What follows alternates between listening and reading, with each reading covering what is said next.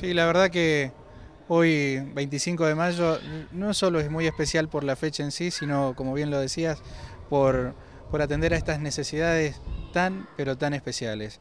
Estamos hablando ni más ni menos que, una escuela especial más. Venimos del día viernes de inaugurar en Chañar, estuvimos también en Cenillosa, estuvimos en Andacoyo hace unos meses atrás y hoy acá en Loncopué inaugurando una escuela más. Eh, realmente es muy importante porque la inversión que se hace en materia educativa eh, es realmente significativa. Eh, según los datos que nosotros tenemos de planeamiento educativo, estamos en el orden de los 2.811 alumnos, con un total de 1.300 docentes, lo cual hace de que el tratamiento sea este, realmente muy personalizado.